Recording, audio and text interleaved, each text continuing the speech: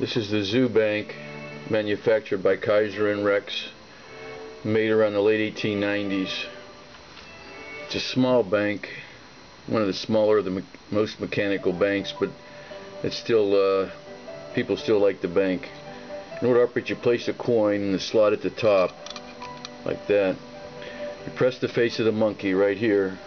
This causes the lion and the bear to appear in the windows as the shutters fly open.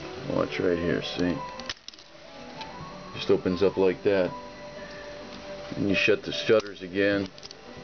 Put the coin up here at the top. Press the monkey's face. Opens up. Kind of a clever little bank. I'm sure it was popular, still popular today. Give you a little view of the rest of the bank here. You can see how small it is on the side. Here's the back. There's the numbers on there. Zoo Bank.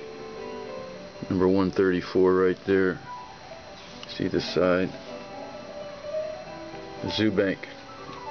Made by Kyser and Rex.